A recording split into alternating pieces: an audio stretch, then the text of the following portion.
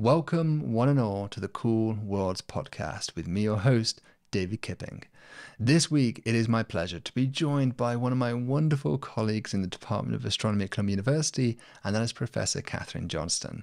So, besides from being a, a colleague in the department, Kathryn is also the Dynamics Group Leader at the Flatiron Institute, which is also in New York City.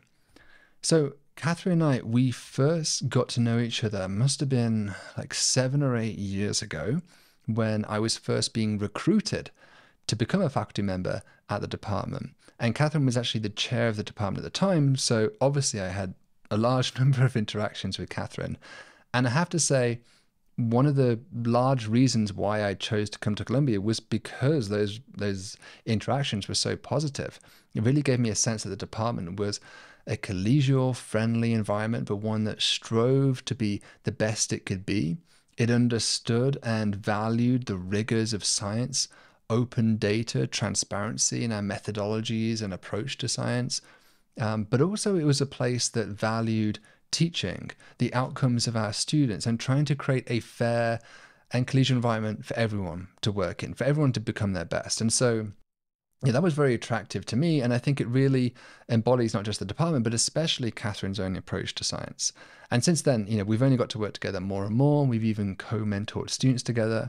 Some of you might remember Moya McTeer, now Dr. Moya McTeer, but she was one of my PhD students. Um, we co-mentored Moya together in terms of the science, but now Moya has gone on to become a superstar in her own right. She's on PBS, she's written books. There's a book called The Milky Way, an autobiography from our galaxy's perspective. You should check that out if you haven't already. Um, and I have to say that, you know, working with Kathryn has always been a great pleasure. Today, though, I want to sit down with Kathryn and talk about her science. And Kathryn is renowned as a leader in her field of science, which in particular focuses on the Milky Way galaxy, our own home galaxy. And there's so many things that we really don't understand about our galaxy still today and they're still learning. So in this in this podcast today, we explore first of all we go through kind of a basics. You know, what is uh, the structure of our galaxy? What is the bulge? What is the bar? What is the thin disk, the thick disk, the halo? All of these terms that maybe you've heard of, maybe you haven't. We break down all of them for you so you can truly understand what our Milky Way is like. Then we get into kind of really the meat of what Kathryn has been trying to work on over the last 10 years, uh, one of the things she's been working on, which is trying to understand the dark matter distribution in our own galaxy. So we think dark matter is the dominant source of matter in our universe, and our Milky Way is certainly no exception in that case. But trying to test a whether do we genuinely believe it is dark matter versus some modified theory of gravity, and b if we believe it is dark matter, what does it tell us about the nature of this dark matter? Is it clumpy? Where is it located? What's the shape of this stuff in terms of its correspondence to the disk of the Milky Way? Um, and how are we making these measurements in the first place? So we'll get into all of that jazz. And then finally, towards the end of the discussion, we'll talk about Gaia. Gaia is a European mission that was launched about a decade ago, but it's been sort of revolutionizing our knowledge and understanding of the Milky Way too by measuring billions of stars, literally billions of stars, to characterize their positions, their astrometry very, very precisely, which in turn has led to new insights about the groupings and clusterings and behaviors of clusters of stars, which in turn tells us about the dynamics of the Milky Way itself. So we get into all of that. I think you're going to like it if you care about where you live in the universe, this is a great podcast for you. So please do join me for this conversation with Kathryn Johnston.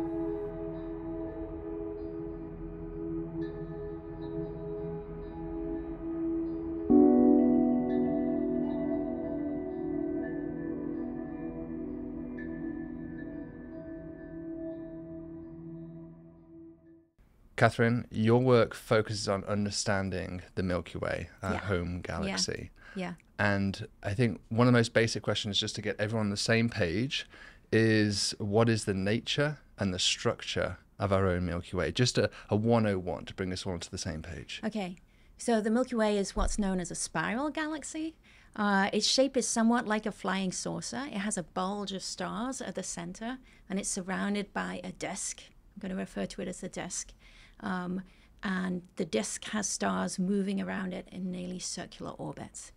Um, but there's also a huge halo of dark matter that surrounds this disk. Oh, and I should mention the disk contains spiral arms. You will have seen those beautiful pictures of spiral galaxies. So they are referred to either as disk galaxies or spiral galaxies. Okay, so the other component I just mentioned, the huge halo of dark matter surrounding the galaxy. So I basically three components the bulge, the disk of stars, and the halo of dark matter surrounding it. And the disc is it is it a single disc? And we sometimes, if you ever uh, go to an astronomy talk, you will often hear the phrase thick disk, thin disk being used. Yeah. And similarly, in the center of the galaxy, you hear these terms of bar and bulges. So there's these other components. Can you just break down the anatomy a little bit there? Yeah, yeah. So within this disk of stars, there are some stars that only bob up, bob up and down gently as they go around. I said circular orbits, and it makes you think of um, it makes you think of the solar system. And in that case, you've got the uh, planets orbiting almost in a single plane. You're going to contradict me there, but almost in a single plane. In the galaxy, these uh, stars are going around, and the motion is governed by gravity, just the way, same way it is in the solar system. But as they're going around, they're actually also going slightly in inwards and outwards, um, towards and away from the galactic center, and they're also bobbing up and down. So stars that are in the thin disk of the galaxy, these only bob up and down a little bit as they go around, and stars in the thick disk bob up and down a lot. So we actually think mm, you have to remember with um, uh, objects like galaxies, they are not solid objects. They are made up of billions of stars that are all orbiting each other. So you can actually have uh, two different geometrical structures contained on top of each other. Um, uh, so that's where the thin disk and thick disk come from. Okay, should we talk about the bar? Yeah, well? let's talk. A, I mean, all these anat- yeah, and, and also the spirals. I think uh, what is the bar? What is the bulge? And I think another question people often wonder is what exactly are these spiral components? What, Yeah. what what's going on there? Yeah, this is the point where you need a visual. Yeah. But let's start with the bar. Um, so I, I just very simply said the center of the uh, galaxy is a bulge. More specifically, so you think of something kind of spherical when I say bulge, you should. But more specifically, um, the center of the galaxy actually is elongated in one direction. Um, and it's actually a rather straight feature, and that's why we call it a bar. Um, and uh, the bar is actually rotating steadily. It, it contains, uh, again, billions of stars that are on various orbits. These are not circular orbits, but as a whole, the density distribution is rotating. Uh, similarly, the spiral arms in the disk of the galaxy, um, uh, these again are not uh, solid features. They contain many, many stars. And the spiral arms are literally that. There are two spiral arm pattern, and the spiral arm pattern is rotating. Actually, I'm changing the, I'm doing the wrong sense of rotation. The bar and the spiral arms are rotating in the same way. But neither of them are the stars necessarily staying strictly in the same place in each object as it rotates, right? So the hmm. stars in the disk are going around the galaxy. They can actually go in and out of the spiral arms. So the spiral arms are actually, you should think of them as a density structure, but for the stars, it's a density wave. I think we're going several layers deep here. no, no, this is good. So This it is, is a, it's a gravitationally induced density wave. So it's like a compression where things are just mm-hmm. squeezing together because they're in gravity, and that wave itself, like the waves on the ocean, I guess, is just Yeah. is just circling around the the disk. the easiest way I find to think about this is actually not um, so much waves on the ocean, but actually more like um, waves in a traffic flow, in Right. a traffic pattern. Yeah. Uh, because if you're going speeding along a highway, if it gets uh, very congested, very dense, you often find that you speed up and it, apparently for no reason, and the cars get further apart. And then you get to points where the uh, cars slow down, and then the cars are much slow, closer together. So, this is sort of what's happening to stars as they go around the galaxy. They go into a density wave uh, of the spiral arm, slow down slightly, and become closer together. And then um, in between the spiral arms, they're moving at a more steady speed, a faster speed, and they get further apart. So we're in because we're in one of these spiral arms, so we're in a traffic jam, basically, I a cosmic traffic jam. We're on the edge of a spiral arm. Yes. Okay, and is there any significance to that, that in terms of The fact we're in one rather than not inside one. Not for the sun. The sun is sort of 5 billion years old. But actually, the spiral arms, because these are denser regions of the galaxy, and they're regions where um, all matter is compressed, um, that includes stars, but also gas and dust becomes compressed. These are regions where you expect to see star formation. So sometimes you find young stars are preferentially found in spiral arms. For, so for them, it could be significant. The spiral arm they're closest to could be their birthplace. But the sun is sufficiently old that we don't think it's near its birthplace, if that makes sense. Right. Now, I, asked on Twitter, I said, I'm speaking to Kathryn Johnston, expert in Milky Way. Uh-huh. Uh, what questions do you have about the Milky Way? And on this on this theme of what is the anatomy of the Milky Way, Yeah. one question people asked is, I've heard differing numbers about the number of stars in the Milky Way for decades. Uh-huh. Anything from 100 billion to 400 billion. What is has that number been Mm-hmm. refined over time, and why why is it that even our own galaxy we have such uncertainty? Uh-huh. Yeah, no. So um, I think any of those numbers I would be happy with. So I think that um, you're talking, right, we're, we're astronomers, and the numbers we talk about are typically quite approximate, especially in terms of things like numbers of the stars in the galaxy. So I would say roughly 100 billion stars. Part of the uncertainty is because we, um, it's hard to see across our own galaxy, right? So other galaxies we can see from the outside and we can get uh, a fair idea of all the stars that are in our galaxy. But in our own galaxy, we're right in the middle of it. So it's like saying, um, ah, you're in the middle of a crowd of people. You can count the number of people that are relatively close to you. But if that crowd goes on for a few hundred yards or meters in any direction, uh, you can't actually tell where the edge is. And Right. you can't actually count all the people. And so that's what's happening with the Milky Way. It's hard for us to tell exactly But it's easier if you could see there. another crowd and you were in the top of a stadium or something Exactly. looking down at everyone, you could maybe have a better chance. of- Exactly, yeah. exactly. It's also exacerbated by the fact, let's pretend it's a cloud of people and um, it's kind of a misty day. So not only can't you see to the edge of the cloud, but they're actually obscured by mist. In the galaxy, uh, the edge of the galaxy, the stars at the edge of the galaxy, uh, along where most of the stars are in the disk, this disk component, there's also gas and dust. And that gets in the way and makes it hard to see to the other side.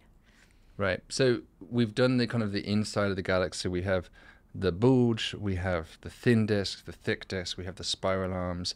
You mentioned around the around the galaxy we have dark matter. Yeah. Um, what else is around our galaxy? There Yeah. are, I think we tend to think that you just there's nothing until you get to Andromeda, right? You just fly to the nearest major galaxy, Andromeda M31, and it's just you know vast oceans of empty Yeah. space. But it's not empty. Yeah. There's stuff going Yeah. on, and that's particularly of interest to your to your research. Exactly. So I'm glad you asked that question because I forgot to mention this part, which is um, about 1% of the stars in our galaxy. So this is why I wasn't worrying about them in the 100 billion. About 1% of the stars aren't actually in the disk or the bulge. They're actually in uh, a a halo, um, which is the technical term. So the stellar halo of our galaxy contains about 1% of the stars.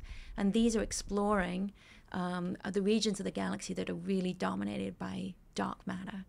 Um, the other thing to realize, um, which is kind of fun when you start to think about it, is not only is our galaxy made of orbiting stars and orbiting ga- dark matter, but objects in the universe are all orbiting around each other. So you work on planets, and we know the planets orbit the sun.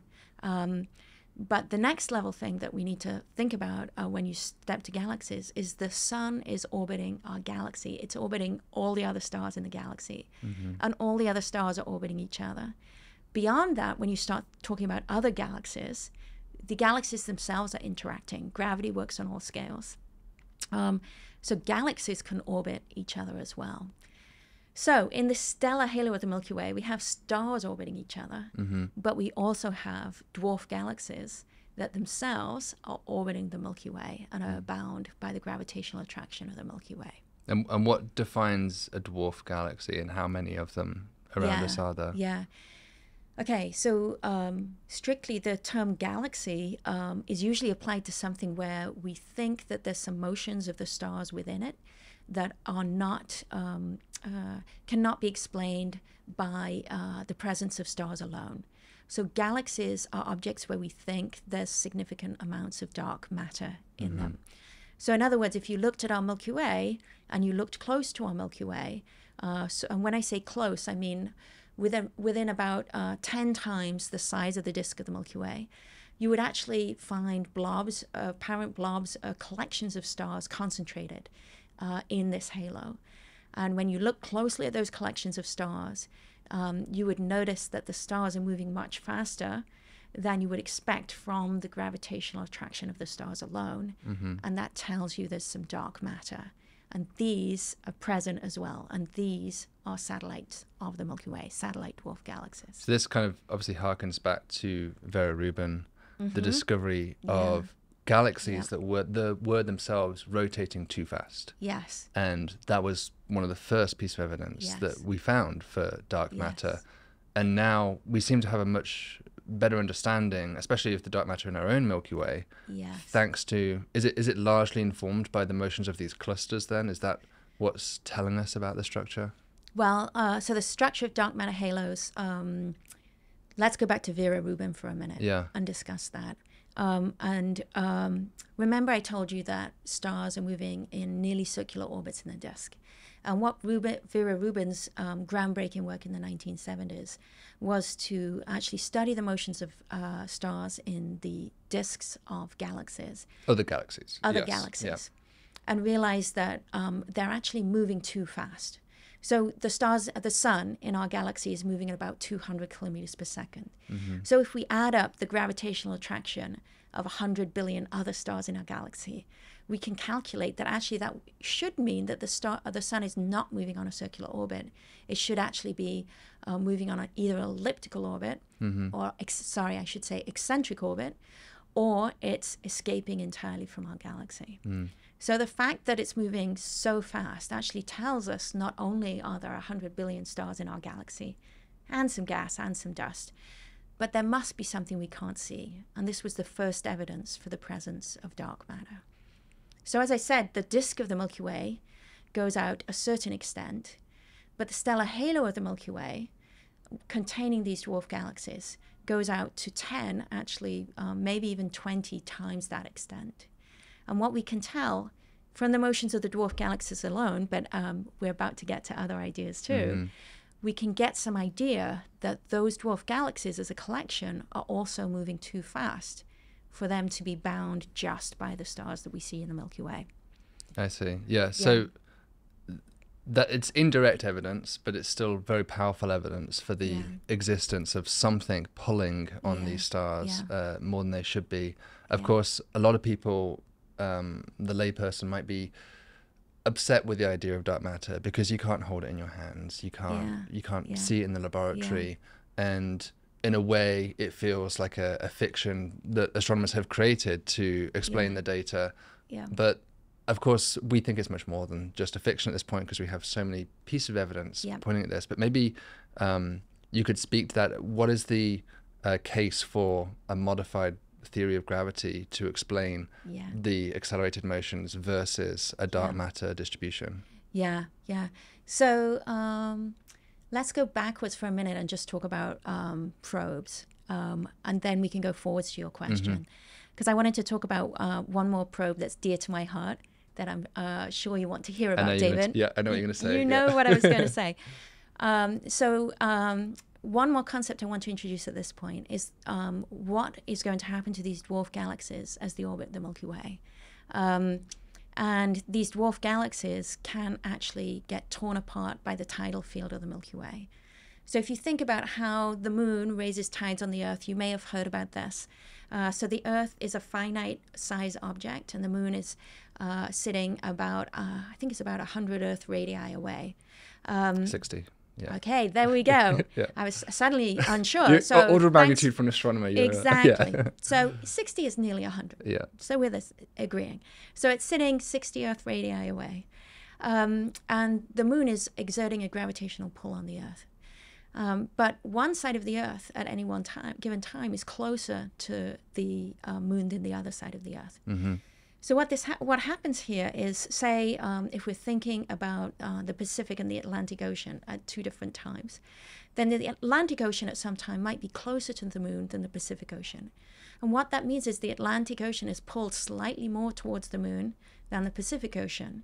And what that actually means is the um, the oceans are bulging slightly relative to the center of the Earth. And this is what causes the tides. The word tides comes from this effect on the oceans. It makes the Earth's uh, oceans bulge slightly relative to the sli- uh, center of the Earth as they uh, as the day goes by, and that bulge rotates as the Earth rotates. So, so the tides are really just a differential gravitational force. There's more force on one side than the other side of this Exactly. object, whatever that object is. Exactly, exactly. So we experience this, and so this gives you a physical intuition. You experience this on the earth, so you actually have experienced tidal forces in everyday life. Mm-hmm. Now you take that, this is a gravitational effect. The beauty of physics is, or the cosmological principle tells us, we take the physics we understand and we try and apply it everywhere in the universe. So, if we apply this to dwarf galaxies, a dwarf galaxy orbiting the Milky Way, the closer part of the dwarf galaxy is pulled more directly, more strongly towards the Milky Way than the further part. And so you might get tidal bulges on dwarf galaxies. What's even more exciting is, though, um, it can be more dramatic in this case. You can actually pull stars off from these tidal bulges and uh, have these stars, the uh, satellite galaxy, this dwarf galaxy orbiting, orbiting the Milky mm-hmm. Way, can actually literally be pulled apart by the Milky Way. Like spaghettified in terms of the black hole analogy of tidal forces in that extreme case, right? Yes, spaghettified. Yeah. Actually, I think that came from the dwarf galaxy It community did it? Okay. years ago. And black hole people stole it. They stole it. Okay, Yes, absolutely. because um, there was a survey called the Spaghetti Survey back in the 1990s Interesting. uh, for dwarf galaxies. And what the Spaghetti Survey was trying to do was find the remnants of dwarf galaxies in Right. the 1990s um, that had been pulled apart. So not only do we see these dwarf galaxies orbiting, we're hoping to see dead dwarf galaxies, ones that have been pulled apart. And the spaghetti term comes from the fact that these stars don't just wander randomly off into space, they're also orbiting the Milky Way. So they start with a mean orbit of the dwarf galaxy.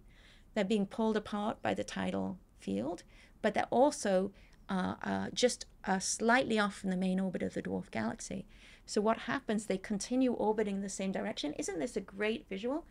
um, and they end up creating long streams of stars. Yeah, and I, I apologize to the uh, people listening on the audio won't be able to see the visual, but you're waving your hands around in a very elegant way to to, to what looks like a stretching out of this of this Exactly. distribution. I guess an analogy with the black hole case would be if you if you were an astronaut falling into a black hole, your feet are closer to the black hole than your head, presumably if you're falling you know feet first. And so your your feet are being pulled harder than your head and it's stretched that's a stretching force then on your whole body. And these stars are feeling the same thing. Yes. it's a it's a it's a it's a slower effect than it's not as dramatic maybe as that astronaut case but it's an effect playing out over what millions billions of years on these clusters. Yes, we're talking about spaghetti in two different dimensions, though. Uh-huh. So um, uh, what David's talking about is stretching in the radial direction, and but actually once that stretching is done, once the stars are unbound, in the Milky Way's case with a dwarf galaxy, the stars spread out along the orbit. Hmm. So you see spaghetti along the orbit. Okay, so this was a long aside because you were asking about. let's get to MOND yeah so how how are these uh, these are Yeah. tidal streams Yeah. how are the the tidal streams the the shape of them the dwarf Yeah. galaxies their motion yeah. how is this helping us to distinguish between these two theories Yeah. So um, the tidal streams, um, as they orbit the Milky Way, um, what you see for these streams, and we can see these around the Milky Way, we can see these around other galaxies. The discovery around the Milky Way has really been in the last 20 or 30 years. And actually, at this point, just talking about numbers, we went going back to that. We have ab- about um, 50, 60, 70 order of magnitude. Satellite galaxies that we have now discovered. Uh, 30 years ago, we only knew of about 10. So these have been huge discoveries in the last uh, even uh, three or four years. And how many stars are typically in these dwarf galaxies? Um, they can range from having a billion stars to only containing a thousand stars. Wow. So a huge range. That's an order a, a Yeah. million Yeah. difference. There's still only they still only constitute a small percentage of stars in total in the Milky Way. Mm-hmm. But nevertheless, they're very interesting precisely because of what we're talking about dark matter. So as these streams spread around the galaxy, because they're orbiting, the orbit is curved. Now, the curvature of that orbit itself is a signature of the gravitational potential, the gravitational force. If there was no gravitational force centered on the galaxy, uh, the stars would go off in straight lines and you would see a straight stream. But you don't, you see curved streams. So, actually, they're a dramatic, just from the morphology alone, is a dramatic demonstration that there's something pulling on the, uh, uh, on the streams. Now, whether that's dark, mattified, uh, dark matter or some modified form of gravity, that's a different question, right? Uh, first of all, for um, dark matter, the presence that there's something that is unseen or modified gravity, you can get from just the fact you see the curvature alone. Um, perhaps most dramatically, there's one galaxy uh, outside the Milky Way. It's called NGC 5907.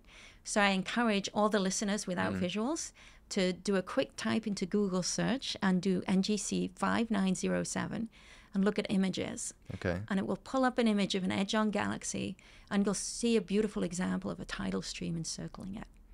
Now, you should notice immediately something about this tidal stream. It has a sort of uh, rosette shape. It's not a complete rosette, but it has one loop, and then it has another loop going off at about 120 degrees from the first loop. And actually, the shape of that uh, loop alone betrays the fact, tells you that there's more to this galaxy than just the disk that you can see. Because if it was just the disk that we could see, this um, orbit should not have that shape. It should look much more elliptical, much more like the orbits in the galaxy. So this Because me, of, because of the 2D nature of the disk versus the 3D nature of some presumed halo. Is that the Ah, difference? No, no, no. The difference here that I'm trying to appeal to first, we're going to get to that in a minute. The difference here I'm try- trying to appeal to first is um, the difference between the sorts of objects you study and the orbits, those orbits with the sort of orbits I study. So in the solar system, you probably know, I know you know, David, that orbits are elliptical or, uh, or actually nearly circular, but they're what we would call closed orbits. They repeat the same shape over and over. Now, in and around, and this is because, sorry, let me finish that thought. This is because all the mass, the vast majority of the mass, is contained in this tiny point that we call the sun at the center of the solar system. And then there's virtually no mass beyond that. In the rest of our galaxy, we have the disk of stars, which is extended, uh, an extended mass distribution. The vast majority of the mass is spread out over a large distance. And then the halo spread, dark matter halo, spreads that mass out even further. And then the orbits in this case are not closed. They're actually what we call rosette.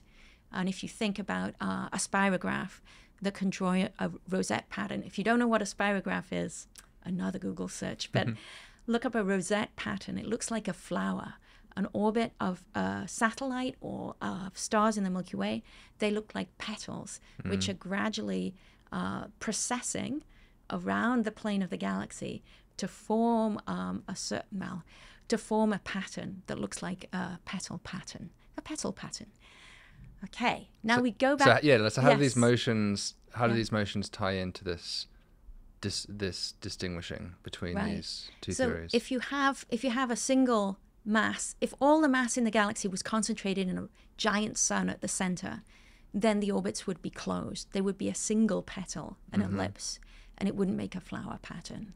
So the fact that you see a flower pattern is telling you not only you have an extended extended disk, but when you see that flower pattern far out beyond the edges of galaxies, it's telling you that there's something there, could be a dark matter halo, that is causing the flower pattern. Otherwise, you would see an ellipse. Is this related to um, Newton's shell theorem? So I think there's a theorem in classical mechanics that says that if all of the mass is inside of your orbital path, you can mostly approximate it as just being like a single point, like all the mass Mm-hmm.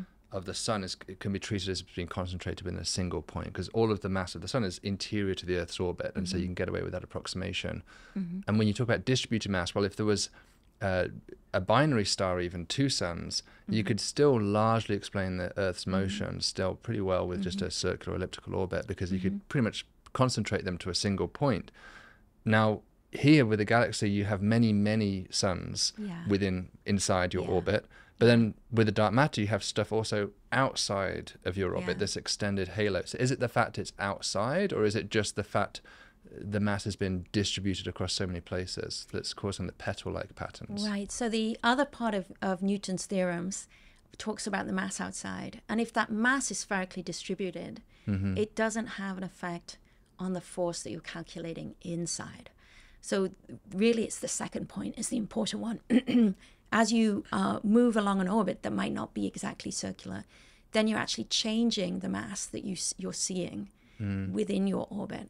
So that means that you um, uh, you actually uh, if you express the force as gm over r squared, then your m is changing as you move out through the galaxy, as well as your r. I see. Whereas for the solar system, gm over r squared, the m doesn't change, right. but the r does change, Okay.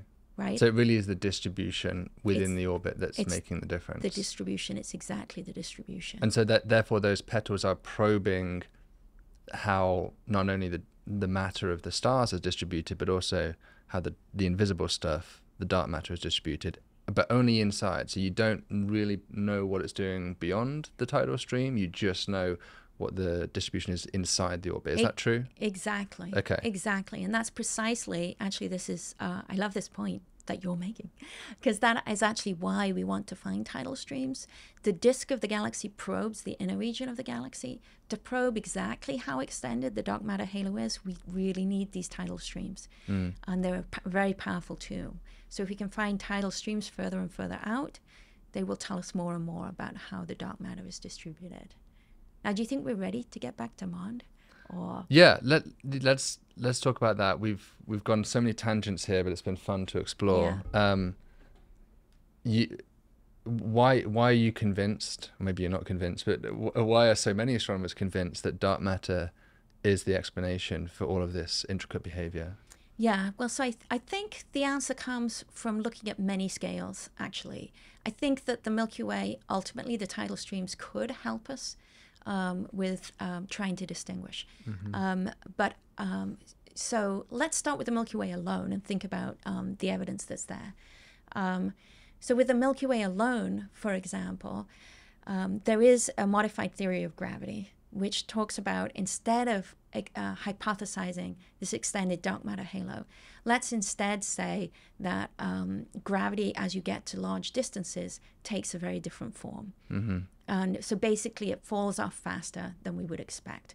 Um, no, did I get that the right way around? Now I'm thinking, no, it's more, right, it falls off less fast than you would expect as you go to large distance. Oh yeah, yeah, that makes sense. That makes yeah, sense. Yeah. I said it backwards. So To explain their ex- their extra speed, you need more gravity out exactly, there. Yeah, okay. exactly. Um, but the idea is then that um, what you see, WYSIWYG, what you see is what you get, right? So the uh, all the uh, gravitational force, in this case, modified gravitational force, comes only from the other stars in the galaxy. So, uh, one uh, way we should be able to distinguish in the Milky Way, whether that's true or not, is essentially uh, on large scales, the galaxy, the disk of our galaxy, is very symmetric. Um, it's symmetric apart from the bar, which is only at the center. It's symmetric uh, azimuthally, and it's symmetric top to bottom. Azimuthally, you mean kind of uh, maybe just to explain that. You mean kind of like rotating around like a clock face, like that angle. Exactly. Yeah. Okay. Mm-hmm. Exactly. Exactly. So there are spiral arms and there are bars, the bar, but in a global sense, it's it's pretty much symmetric as you go around a clock face. Mm-hmm. Exactly. So what that means is, according to this modified theory of gravity, as you go out further and further from the galaxy, you should find more and more that the force you're feeling is azimuthally symmetric in angle, Mm-hmm. and it's also symmetric top to bottom. So if we find evidence of of distortions from this- asymmetries, yeah. of asymmetries, Uh, whether that's very large scale, it might be that there's a squash, which is, uh, let me see, it's, um, I'm gesticulating again. It's uh, in the plane perpendicular to the galactic disk. If we find a squash in a plane perpendicular to the galactic disk in the dark matter, Mm-hmm. and that we, well, not dark matter, in the halo, if there's a squash in the force field perpendicular to the galactic disk that we need to assume in order to make those streams make sense, then that is a powerful uh, contradiction to a modified theory of gravity and a powerful point in favor of the idea that actually it's a matter distribution that we can't see, that itself is squashed. So as a way to think about that. If if you were in the plane of the of the disk of the galaxy, Mm-hmm. and you were a certain distance away on the outer edges, say Mm-hmm. uh, two hundred thousand light years or something, on the outer edge of, this, of the of the Milky Way, Mm-hmm. that you should feel the same gravitational potential as a point that's to the north pole almost of the galactic center, and if there and you're looking for differences as you scan across from moving out of the plane to orthogonal to the plane. Yeah, I, that could be one way of looking at it, but actually the disk would cause a difference because the disk is flat. Mm-hmm. So actually, the the experiment I was suggesting was rather your um, your uh, let me see, uh, you're in the galactic plane in the equator, like the equa- um, the equatorial uh, the equator of the Earth, and you actually look at 90, 90 degrees difference. So you'd look in. Uh, I don't know, choose two points on Earth. So somewhere in South America versus somewhere in Africa. Right, right. And you would uh, ask yourself, uh, is there a difference in the force field in those two positions? or almost like at? 12 o'clock's looking at 3 o'clock on the clock face. Good. I Yeah, like that. That's okay. better. Yeah. That's better. A large distance from the center, and you're looking at 90 degrees. Okay. That's that's the experiment that I think that we really want to do, and I think it's becoming more and more feasible for the Milky Way at this point. so it's not, if you just took the Milky Way in isolation, you would not be able to distinguish between MOND and dark matter, Um, given, given current observational evidence. Um, I think it's on the edge because we're just getting to the point of being able to. We really want to do this experiment um, by looking um, uh, at large distances from the disk. And we're just getting the tidal streams there, and we're trying to understand distortions that we're seeing in those tidal streams because we are seeing distortions. So I think we're very close to being able to do that with this particular experiment. Now, what I didn't say, there are other lines of evidence that make us really happy with dark matter, but that's more thinking about the cosmological scales, where uh, the match on many, many scales works really well in this theory. Yeah. But I should be clear, um, I'm actually really happy that people are can. There is a subset of the community that keep on working on this and challenging us. Mm-hmm. It's a um, at some point we should put it to rest entirely, but I think it's a good thing to always question. That's how science works, right? Yeah. Yeah. It's, it's a sign of a healthy discourse when Yeah. people are putting different Yeah. theories and testing them. As long as as long as we have testability, which both Yeah. these theories do, then he- science Yeah. is healthy in that Yeah. sense. Yeah. Um, so we've we, we went out to the dark matter. I guess the final thing I want to ask you about dark matter is what do we have a sense of the shape from you know assuming dark matter is the correct explanation? Um, Yeah. What is the implied shape? Is it just a? I think you say it's like a halo, which I think I normally think of as just a big sphere, just a big fluffy spherical cloud of dark matter that sits around us, and it it vastly engulfs us as well. It's actually much larger, of course, than the Milky Yeah. Way itself, the, the disks of the, the of the Milky Way. Yeah. But is it really a sphere, or is it some other shape? Have we been able to measure the shape? Is it clumpy? What do we know about it? Yeah. So um, a lot of what we know comes from theoretical modeling. Um, and therefore, we don't know it. It's hypotheses that we're testing. So, the hypothesis that we're testing is that um, there is this dark matter halo and that every galaxy is surrounded by extended dark matter halo. Why are we testing that hypothesis? It's because of uh, large scale numerical simulations of how we think galaxies form in the universe. And in these simulations, with our current understanding of gravity and matter, the easiest explanation is that these dark matter halo forms, and Zero thought that they're spherical in shape. But more carefully in the simulations, they're actually triaxial, which actually means you take a sphere and you squash it in one dimension, and then you squash it in another dimension. So it might look something like an American football without the pointy bits at the end, right? And that's what we think dark matter halos on the larger scales would actually look like. Um, on top of that, so the other thing you mentioned, um, the universe, as we've said, is formed of objects orbiting objects orbiting objects. And we've al- already said that um, the Milky Way is, is, is orbited by um, uh, satellite galaxies. So each of those is a, has its own clump of dark matter. So you have to think about these halos of dark matter that are triaxial, but within them are orbiting other galaxies with their own clumps of dark matter. Right. And the point where it gets really interesting is we actually think as you go down in scale for these dark matter halos, there may be some dark matter halos that contain no galaxies. And so that means the 100 galaxies we see, we actually think are only the tip of the iceberg of the dark matter halos that are out there. They're the ones that contain light that we can see.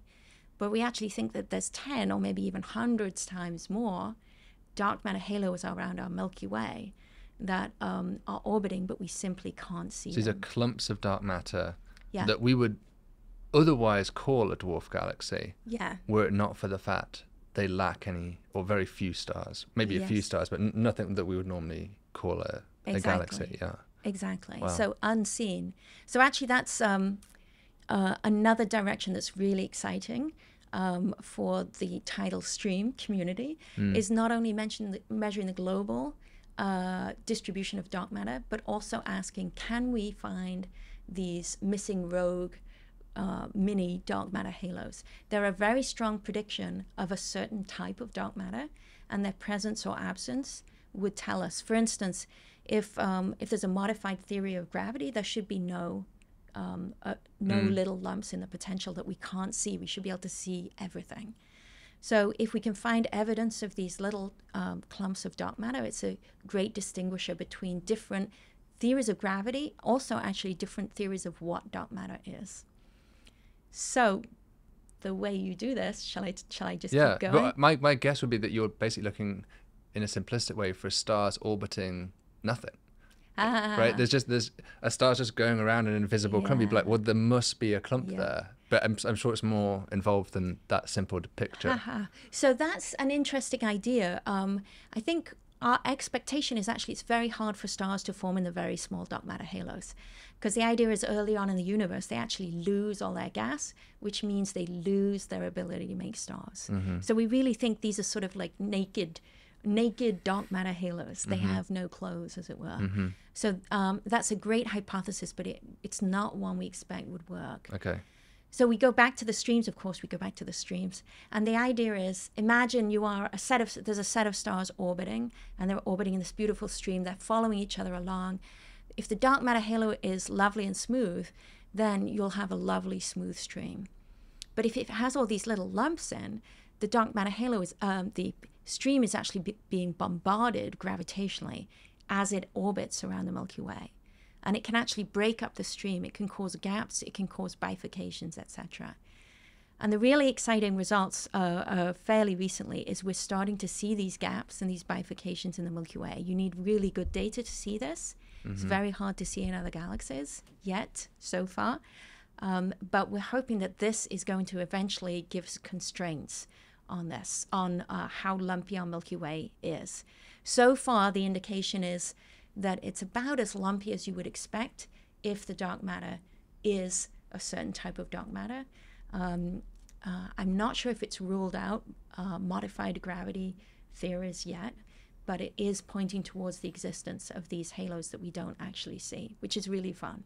So let me just ask you a bit more about on this because it's so interesting, um, and I think a concept that many people will be fascinated by the idea of dark galaxies, almost that you might call them dark dwarf galaxies. Um, it almost helps with this chicken and egg problem of you know what came first the the the stars the galaxy the, the disk of, gal- of of stars that form a milky way galaxy or was it the dark matter halo that comes first and if you have these naked dark matter dwarf galaxies Yeah. that implies that they are indeed the seeds and it's the stars get drawn into them and that that's the the beginning of galaxy formation to some degree do you agree with that Uh, um, I think it's a cartoon that's getting the elements right. So I would just um, rephrase it. slightly. Um, Mm-hmm.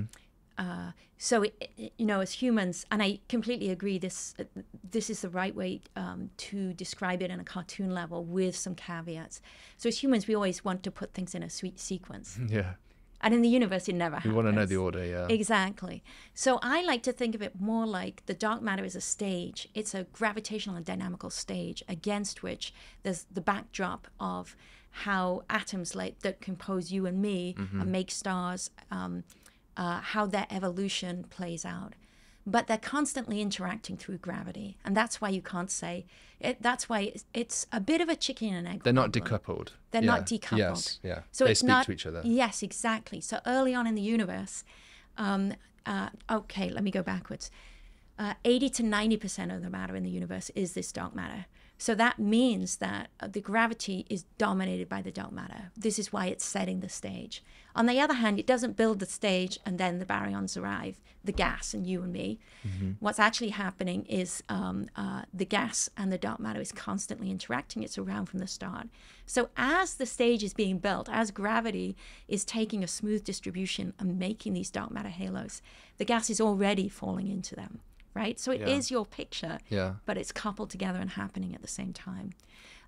And actually, even though they're only 10%, 20% of the matter, these baryons can have a role in shaping the details of what happens in making those dark matter halos. And just to inject one other complication to this story, black holes. Yeah. In terms of this chicken egg problem, that's another part of the story of galaxy formation. Yes. We have a supermassive black hole in the center of our galaxy. It's thought that most major galaxies, symmetry also have supermassive black Yeah. holes in their center. And there has been some discussion about whether that's formed early and then the, you know, the rest of the galaxy Yeah. forms around it, or whether that's a product of the, the stars themselves. Yeah.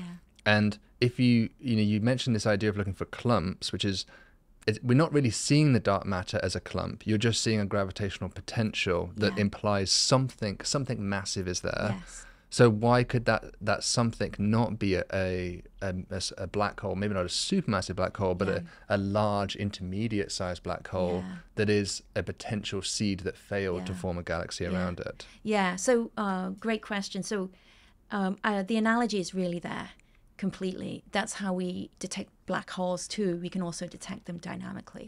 Um, I want to um, again do a bit of an aside just for the audience because I think this is very important.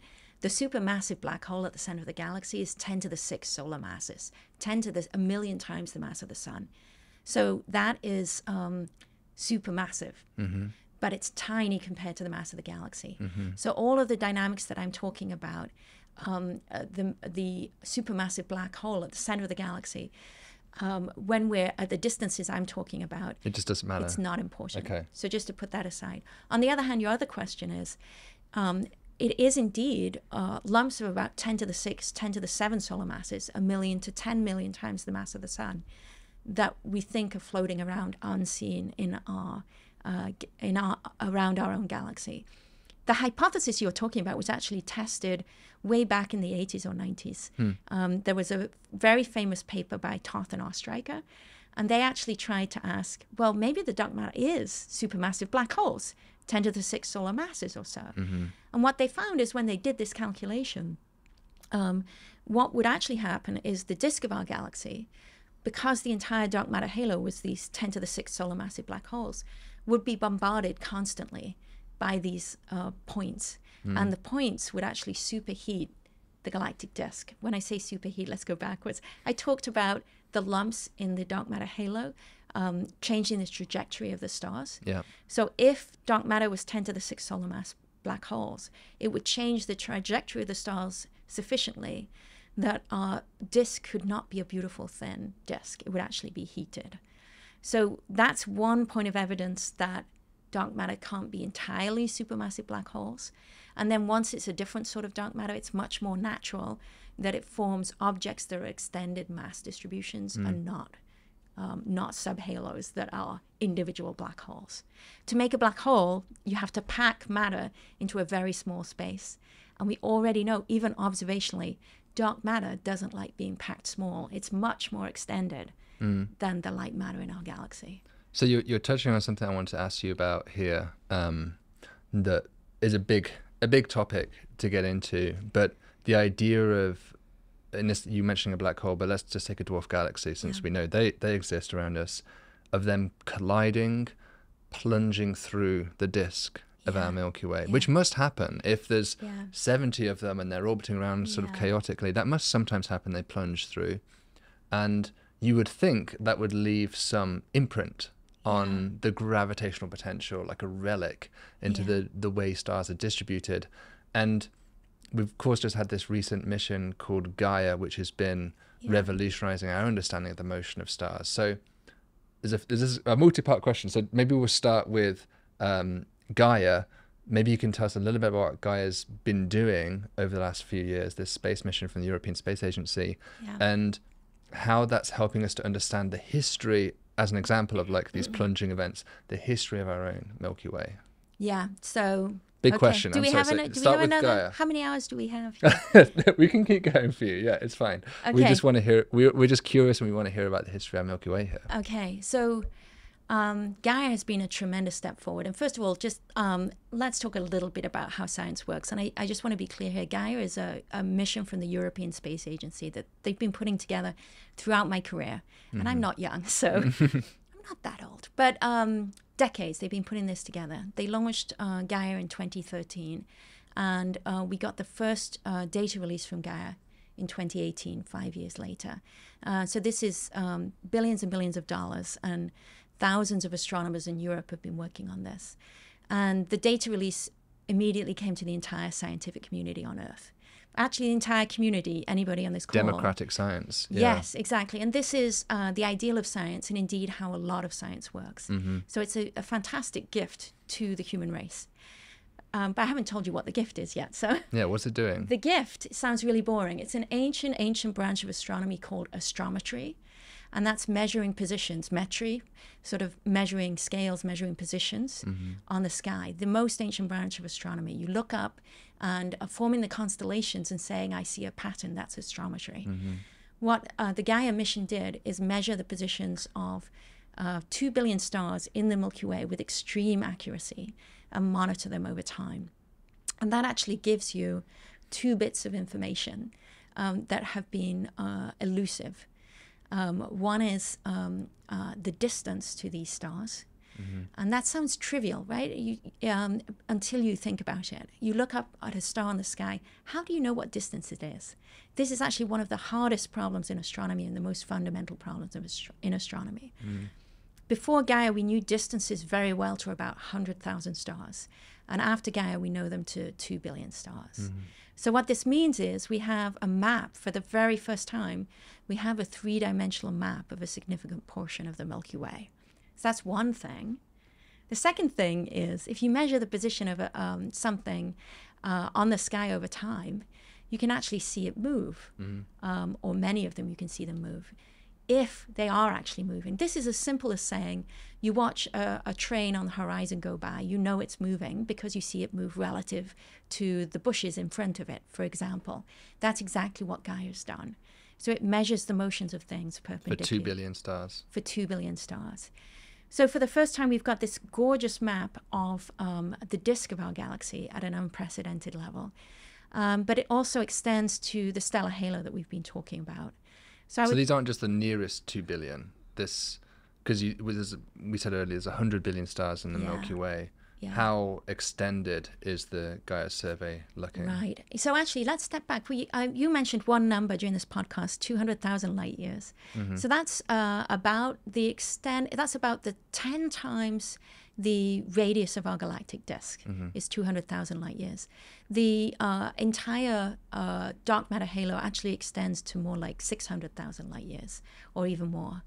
And the, um, uh, the uh, width, width of the disk is uh, 20, 30,000 light years or so.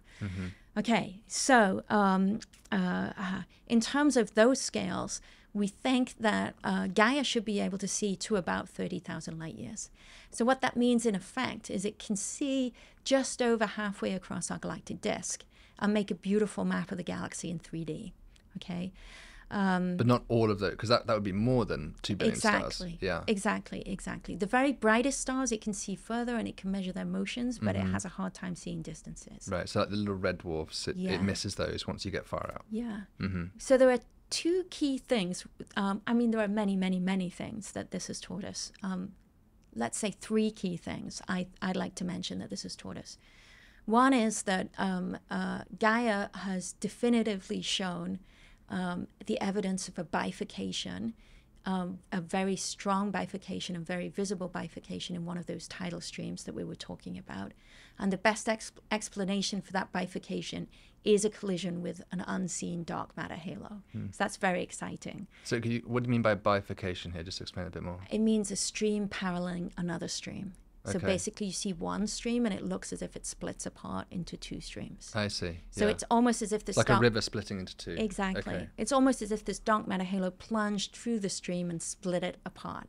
Hmm. So it's not it's it's the backwards of the river splitting into two because it's splitting downstream. I see. If you see what I'm saying. Yeah. Um, so that's one. That's been a remarkable result, and that was actually made by uh, a Columbia, uh, ex-Columbia graduate student, Adrian Price Whelan. Wonderful. Uh, sorry, I had to do that plug. Second thing. We'll get him on um, here at some point, I'm sure. Yeah. Exactly. Second thing, um, I'm really excited about, but actually I was not involved with this uh, research. There are three groups um, worldwide, more, but three key groups um, who have been pursuing looking at the history of the Milky Way.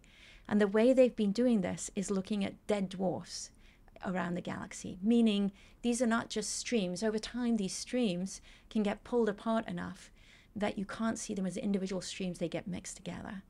And what these groups have done have looked towards the central parts of our, star, uh, of our stellar halo, the ones that are almost overlapping with the disk of our galaxy. And they've teased apart from that disk of that gal, or not the disk, the stellar halo of the galaxy, that it se- seems to be composed of a finite number of clumps. And each of those clumps, they're associated with um, dwarf galaxies that we can't even see now. So what this is saying is we're performing galactic archaeology, is the catchphrase. Yeah. We're digging into the past of our galaxy and understanding events that we haven't even seen before. It's amazing. And th- this is really exciting because actually, this is something that I've spent three decades working on. And many people in those groups have spent three decades working on. And we hypothesized that we'd be able to do this. And they're actually doing this now and saying, how was our galaxy built? And how far back are these events in time? So far, the events are going about um, eight billion years ago or so. So it's about it's more than halfway back to the beginning of the universe. I can't say we're seeing the very beginning history, but we're seeing more than halfway back to the beginning of the universe, and it's it's um, been um, a dream to do that. It's partly what the Gaia satellite was built for. It was motivated by the early studies. So this is a very exciting time in the field. That was two. Yeah, and you had a third. The third one is actually what I've changed my own focus to. The third one is you look at the disk of the Milky Way. Gravity is mutual, right? We spend our time, I give the example of a satellite galaxy being torn apart by the Milky Way. But if you think about the Earth, the example of tides I gave for the Earth was the opposite. The satellite was causing tides on the Earth. Mm-hmm. So actually, the satellite galaxy can co- has a tidal influence on the Milky Way itself. So these satellites that we see now, and indeed the satellites that fell in the past and no longer exist, they will have all disturbed the disk of the Milky Way. And now that we look very carefully at the disk, not only do we see a disk composed of circular orbits, near circular orbits that are gently bobbing up and down, the entire disk is waving up and down. There are ripples we see in the disk. We saw hints of this before Gaia, but Gaia has provided a map where we can actually see the midplane of the disk going up and down across the half of the disk that we actually look at. So it's like dropping a stone in a pond and the ripples slowly propagating through the disk I- of the Milky Way. I think that's a perfect analogy, nearly perfect analogy, Yeah. because of course it's all gravitational. yeah. but that's nearly perfect an- analogy. And the reason this is exciting but also challenging is um, all the all the classical uh, models of the Milky Way that have been built of the disk, the dark matter halo, and the bulge, in order to understand the global dark matter distribution, etc. These have been equilibrium models, models where the Milky Way is unchanging, has been around forever, it will be around forever. These ripples are telling us the Milky Way is not in equilibrium It's rippling. It's like saying we want to model uh, our understanding of the ocean with the idea that on average it's flat. And that's what we've done for the Milky Way. And we understand this, uh, or a pond, a perfectly flat pond. And we've assumed it's a perfectly flat pond, but actually there are these ripples in it, which means we can't quite model the full nature of the pond without understanding the ripples. And that's the direction my research is going now. Is is actually I'm for my entire career almost up to this point has been understanding small galaxies, satellite galaxies, how they're torn apart from the Milky Way, and what the Milky Way does to those galaxies. And now I'm concentrating on what, how does the Milky Way react to those galaxies, and what can that tell us? So I'm going from trying to understand how the streams and dead dwarfs can tell us about history and dark matter distribution, to how the ripples in the pond can tell us about the things that are causing the ripples. So the, I guess we've also have gained here a, a appreciation of just what a dynamic environment the Milky Way is. Yes. It's not a, a static, Yes. homogeneous Yes. disk as we might portray in a in a picture or something. Yes. And within this maelstrom and chaos of all of this motion, um, it makes me wonder about the motion of our own sun in that context. Um, we said the sun is kind of on the fairly near the outskirts of the galaxy. Yeah. It's about uh, eight kiloparsecs away from the center, yeah. and it must have been born, presumably, in a cluster of Yeah. many siblings Yes. of many other stars that would have been born from the same cloud, the same giant molecular cloud, we'd call it, as us.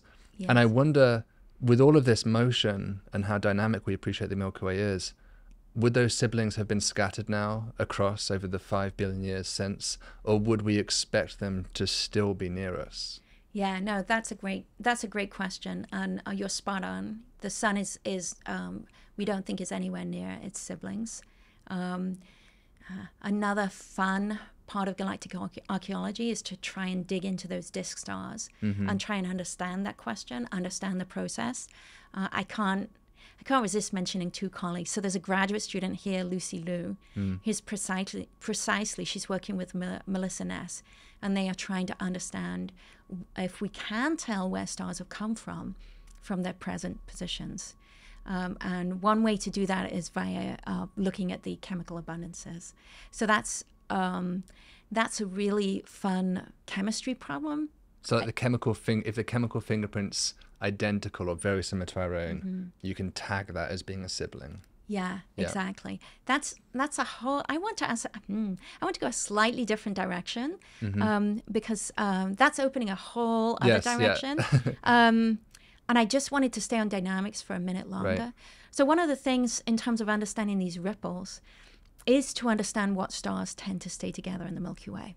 And so, actually, um, what my group has been doing in the last few years is um, to uh, try and understand how to take the dynamical information that um, uh, Gaia has given us. So, to, to, to give you a sense here, Gaia gives us a sense of distances and motion. Once you have distances and motion, you can start thinking about orbits. It doesn't tell you orbits directly, but you can start thinking about orbits and how to group stars in orbits. Um, and one of the beauty of uh, stellar streams is that they tell you something about orbits. They tell you they're on similar orbits. In the disk, you have to find other ways of doing it. So you get the information from Gaia, and it allows you to group stars in orbits. If you put stars in groups of similar orbits, meaning similar amounts of time they take to go around the galaxy, then you can actually uh, put stars into groups that have a similar history. And this allows you to look in more detail at the uh, structures that we see in position and velocity in these group spaces. And it, it does tie into what Lucy and Melissa are doing Yeah. because it ties into uh, dynamic groups and whether those dynamic groups coincide with chemical groups. And together, that can make a very powerful way of dig- digging into a history that has been really mixed up in the galactic disk in a way that it's not mixed up in the stellar halo. It's a much more challenging problem. It's it's a, a the type of problem in astronomy I love, where and why I love the field of astronomy so much. Yeah, That it's like being a detective at the crime scene. Yeah. That you can't yeah, you can't change anything really. You can't reproduce the experiment. And like a physicist who or a biologist who can just go in the lab and do more experiments, we have what we have, and we have to think so deeply and carefully about the patterns and every clue that is left in that room. And Yeah. this problem really epitomizes that. Yeah, no, I absolutely agree. I love the way you put that. That's exactly how I think about it as well. So on this human, on the human aspect of this, I have to ask you, you know, because Gaia releases its data in these big dumps, right? And Yeah. everyone across the world gets it at the same time, Yes. which is great, but probably also as someone active in, in this area, a little Yeah. bit stressful because Yeah. you'll have competition with other groups, Yes. other scientists. Um, maybe just tell us what was that like? You've, I think we've gone through three of these now. Yes. Talk about maybe one of them. What were you doing when the data release happened, and, and Oh. what was that whole experience like? Well, first of all, every day feels like every one of those days feels like a massive celebration, and it, and you get a wonderful sense of community across the world. Um, so the very first data release, um, uh, there were six of us sitting in a room together, and let's see, it was David Spergel, Keith Hawkins, Adrian Price Whelan, myself, and um, Sarah Pearson. And I'm forgetting, uh, it was at least those 5 Um, and um, we waited for the release to come down. It was 6 a.m. in the morning. We'd all got up. and Because it's European time, I guess. Yes, Yes. yeah. yes. And the release came down, and uh, then people um, started frantically making plots for fun. And Keith um, was the first one to get there and sharing a plot of what the data looks like. And it was just a tremendous feeling. And not because of the competition, actually. There was an immense sense of unity. Mm. People were posting the plots they were making from all over the world. Mm. So we were getting posts from Jo Bovy in Canada. We were looking at the post from the Europeans as well. On Twitter or something? Where were these? appearing? Exactly, Yeah, exactly. okay. And you know how bad I am with Twitter. So I was getting everybody else to show them to me. So that it was wonderful sense of community. And we also got a message later from the PI of Gaia, uh, Andrew Brown. And he wrote and he said, which felt really good, he could see when the US woke up because he could see us downloading the data. And that he felt um, it gave him a really great sense of pride and community because he knew that the data was being downloaded by scientists around the world. And he, he felt that sense of connection to us, uh, even though he wasn't there. And he felt what a gift he'd given us that we were up at 6 a.m. Yeah. and downloading the Yeah. data. So that was a wonderful story. Um, on the set, uh, for myself, it's interesting. Um, for myself, I found that I haven't been on the discovery papers. And I think that speaks to the nature of the sort of science that I do. Um, so the groups um, who do this uh, are typically uh, magnificent data miners. They're great at making discoveries, finding clues in the data itself. I work somewhat differently. I think about the physics and think about what you could find. And that's what I've been doing for two or three decades. And I find that that's what I'm doing again. I find it, I wish I was more on the discovery side, but I'm not pulled that way. I'm excited to see the discoveries uh, come out. I'm thrilled when my colleagues, um, Amina Helmi, Vasily Belokurov, Charlie Conroy, these are uh, uh, Jo Bovy, uh, Adrian Price Whelan, again, Sarah Pearson. These are uh, big figures in the field. When they publish papers with discoveries in them, uh, I can't help mention Teresa Antoja, one of Amina Helmi's students. She published a groundbreaking um, uh, paper on the uh, second data release. Uh, Wilma Trick, another second data release paper that I love. But what I find myself pulled to is not to enter that craziness because I hate feeling that sense of competition actually. Um, and I'd much rather celebrate.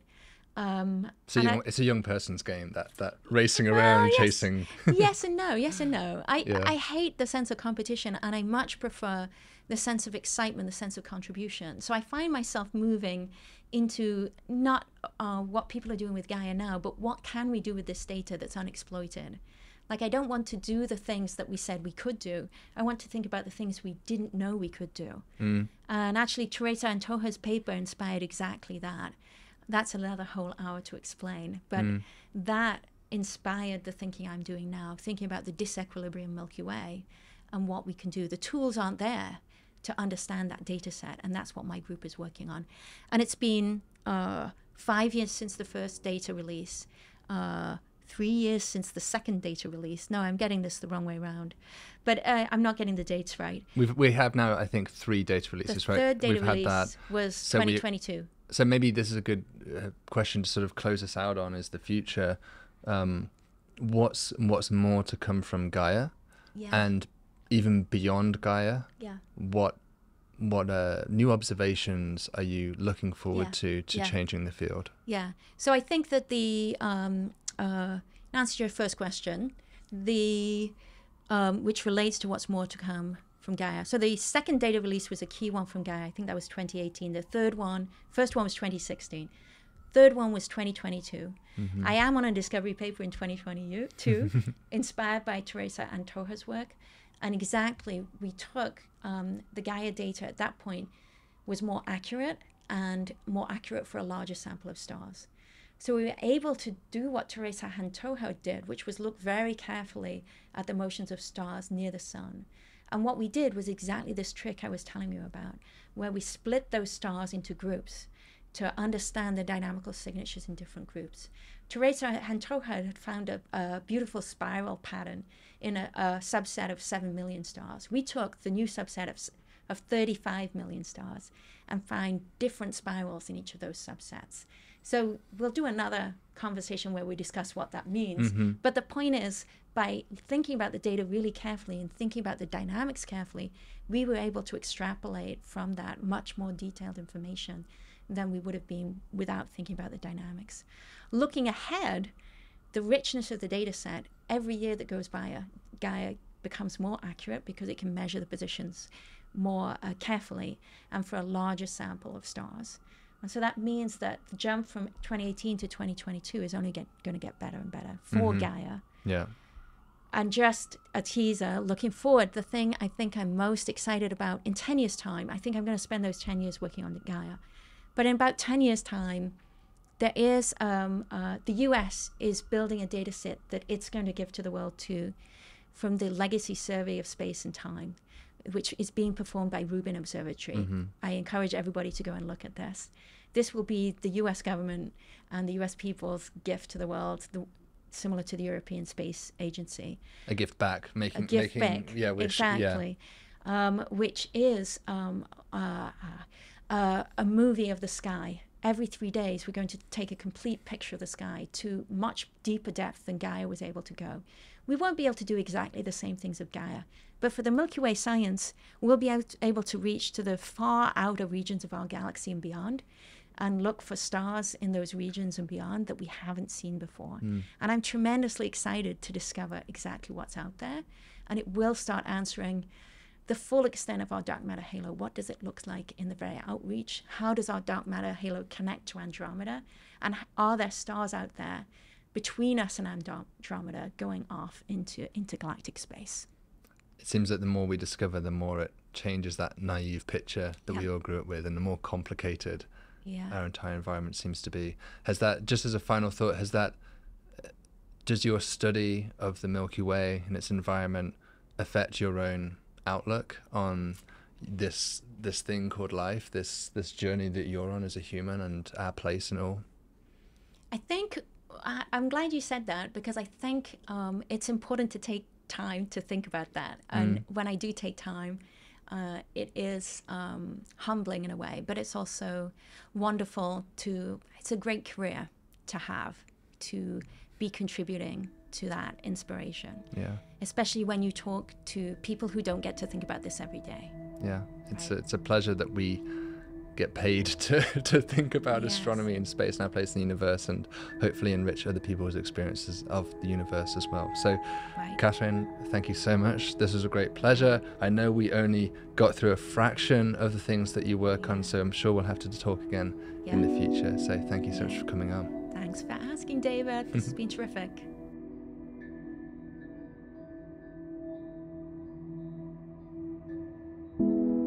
So that was my conversation with Kathryn Johnston. I hope you enjoyed it. For me, one of the things I really took away whenever I really talked to Kathryn, but especially from the interaction, was just how much we still don't know about our home galaxy and especially its origins and how it came to be, but also how it kind of shatters our view of the galaxy as a static, unchanging place. And in fact, it is a very dynamic, constantly evolving place that will surely look very different to the future as much as it has done in the past, and how our knowledge of the behavior of stars is shaping and informing this changing view of our own home galaxy. So I hope you enjoyed that as much as I did. If you are enjoying these podcasts, then of course, please do make sure that you are subscribing on whatever platform you're listening to this on. And also, if you really want to help us out, you can become a donor to my research team, the Cool Worlds Lab, by heading to www.coolworldslab.com slash support. That's www.coolworldslab.com slash support. So thank you so much for listening, everybody. And until next time, stay thoughtful and stay curious.